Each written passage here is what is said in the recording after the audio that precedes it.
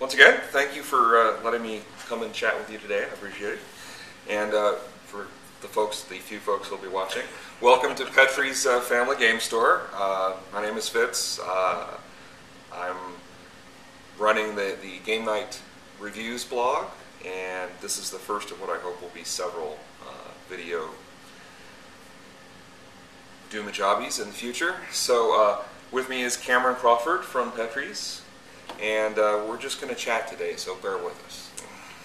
So, um, how would you describe your store to someone who's not been here before? Because, I mean, Game Store has kind of its own s- stigma or description right, in which people's minds. precisely what we tried to, to get away from in, in our original vision statement was to uh, have a have a game store that is a little more board game friendly, uh, not to exclude the other, the other styles of gaming, but um, to, be open and bright and uh, be family friendly for all ages, um, including the the uh, demographics that don't usually hit the game store radar.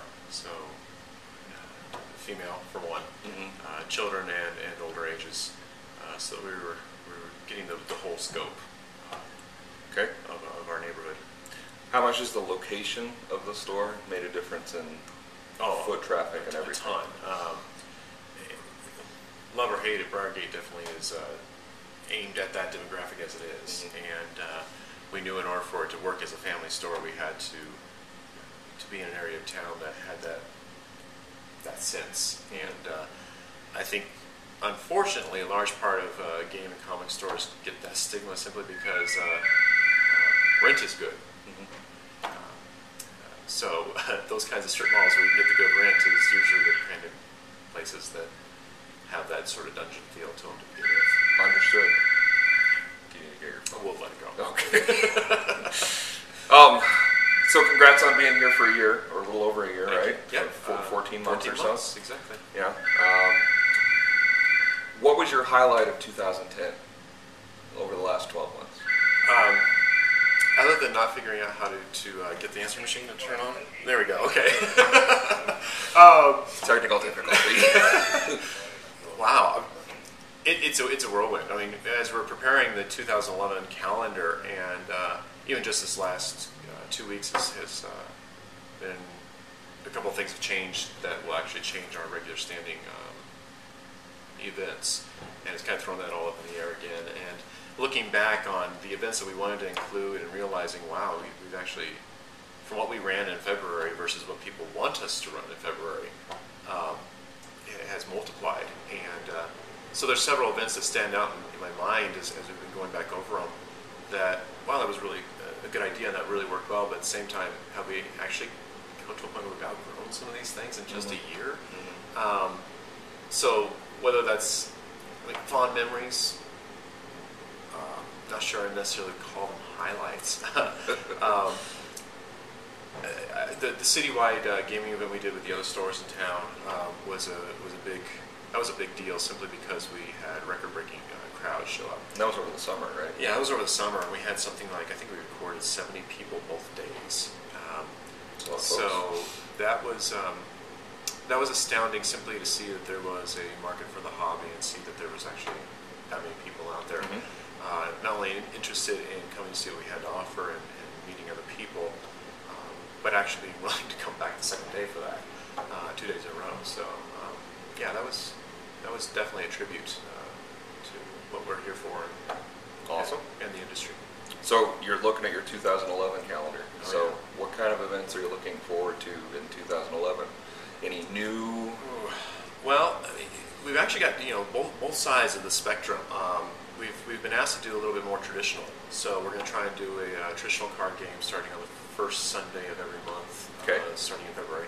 Um, we'll be pairing that up with our chess day, which we're also moving to the first Sunday of every month. Cool. Makes sense. Mostly because they seem to go together as far as the atmosphere. Uh, we also have the Colorado Springs board game uh, group meeting on the first Sunday, and a lot of those guys are also in our chess chess club. Okay. So it'll be basically just a day of uh, of traditional um, and, and more of the Euro strategies. Okay. Um, so that that's really interesting. On the other complete other hand, um, we've just just started our Friday Night Magic. Um, so it'll be interesting to see how uh, we can get one of the mainstays of the hobby uh, introduced into our culture without changing our culture too much. Um, and I don't know, I, I think I'm excited to see that we can take both spectrums of the hobby and make them work together without it really affecting, uh, like I said, the atmosphere or anything like that. Sure. So- Everything from card games and traditional games to non-traditional board games, role-playing, collectible card games, all that good Exactly, stuff. So, exactly. yeah. Um, we also have the uh, the new Star Trek uh, minis game coming out, so that's that's infused a little bit more uh, interest in more of the tabletop. Uh, while we don't do a whole lot of that, Yeah. um, you know, Star Trek, Star Wars, the the, the, the minis games that uh, appeal to the younger age definitely fit our culture, and so we're going to be exploring a little bit of that too. Cool. Obviously, you have, a lot of events going on. What is your personal favorite event that you've, that you've had in the store? Um, some weeks it's when I go home and get some sleep. Um, It's good. but um, yeah, yeah I, I like our. Um, I- we have a lot of like Saturday nights, specific special events that um, really tend to be our, our regulars. Now the regulars change; they evolve. You know, Mhm. people drop off, people come in. So it's it's not that there's specific people that I'm prejudiced to making sure I'm always with kind of Sure. thing. But it's really nice when you get to know people and they get to know you, and you actually are building a relationship. And then you have an event that makes it so it's only the ten of them Mhm. um, it, it feels it feels nice. It's, it's just it's close. It's uh, something that we don't have to try as hard, but yet we have, oh, we have just as much fun. Cool. Um, so an example of that might be the uh, game show that we do, uh, which is we take a highlight of all the party games and uh, we do it up in, a, in an actual game show format. Cool. And okay. um, again, that tends to attract teams of the regulars because it's teams of three to four people, and in order to find three to four people, it's usually the friends you've made in the store. Sure. Cool. Um, so, along those same lines, do you, what kind of games do you personally focus on?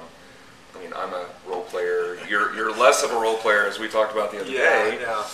Yeah, tabletops, mini, minis, and, and role playing is definitely the uh, back side of my brain that I don't get into as much. Um, uh, I grew up with adventure games. You know, I grew up in the, the days when Games Workshop actually made board games and, and uh, West End games, and uh, so you know I've definitely got those those nostalgic classics like Talisman and Arabian Nights and things like that that have uh, uh, definitely influenced where I come from.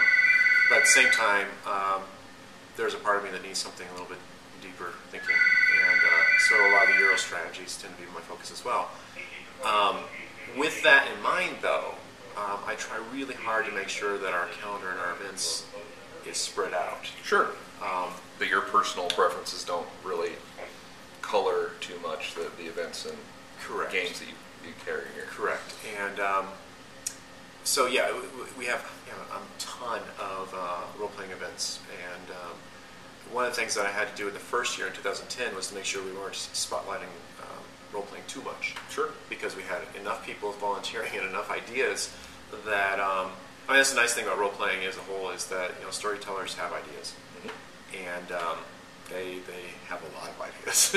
so, um, The overflow. Mhm. so we had you know that calendar uh, issue of okay, we've got to throw a kids event in here, we've got to throw a board game event in here, something to keep things balanced, and uh, that was that was that was a constant challenge. Now with uh, World of Warcraft taking off and um, uh, with with you know introducing Friday Night Magic, uh, there's going to be a concern of having too much uh, CCGs.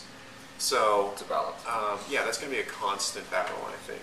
Um, occasionally, you know, you'll get a, a comment from a board gamer saying, "Well, I've been noticing a lot of card events lately," as, as though to say, "You need to pull back on that, maybe." So um, that's that's something. Keep everybody happy, keep everybody balanced. Is a goal. Cool. Um, have there been any, any surprising products that you've had in the store that have done really well, or an area that has done really well? Obviously, you have. One of the things that I love is that you are very family oriented, so you have a little bit more of puzzles and games that are more directed towards kids in that area. Right. Yes. Um, yeah, our, our kids our kids section does well. I think because we're one of the few stores, if, not the only store that has that specific kind of selection. Um, but it maintains itself. And it's it's interesting coming into this the, the business. Uh, we were focused on Euro games and the kids section uh, when we first opened, Right. and I think we still have the same amount of stock. So it, it's like that, that, that ebbs and flows and keeps itself Pretty breathing in the constant. Um, I'd say the area that we've, we've expanded the most is CCG and role playing. Um, there, that's a lot more trend oriented. Sure.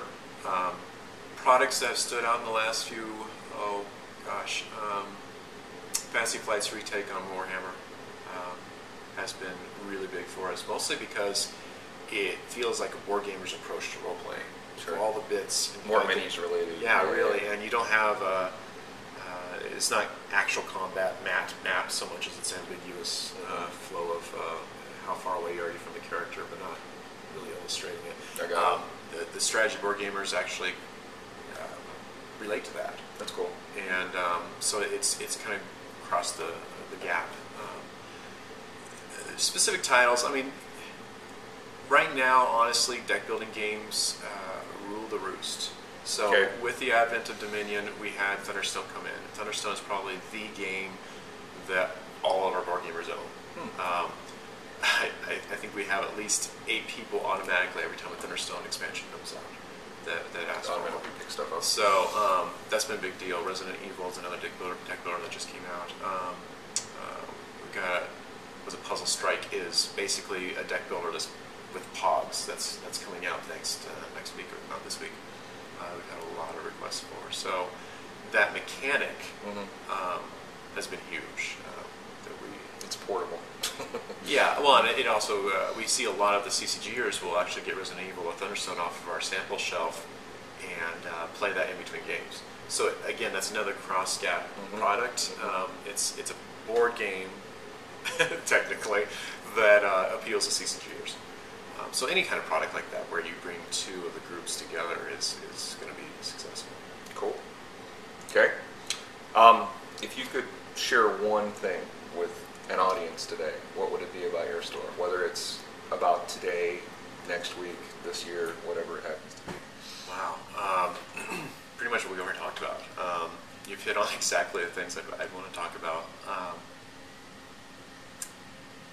Um, wow. I'm on the spot. Mm-hmm.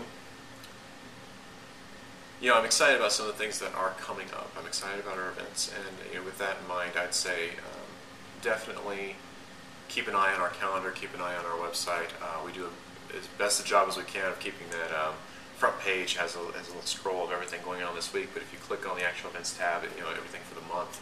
Um, keep an eye on that because our events really, I think, is what um, keeps the store going, gives people motive to come in and meet other people. And uh, ultimately, that was what we were all about. We wanted to make sure that we created a community center. And uh, without that community center vibe, um, we wouldn't exist. And without the events, we wouldn't have an excuse to, to have people show up. So, I mean, really, I think our events are, are our heart. And uh, uh, where, yeah, where we're at, where we're going. Thank you very much. I appreciate it. Well, thank you. And I'm sure we'll do this again. So there you go. End of the first chapter of our video blog series. Have a great day.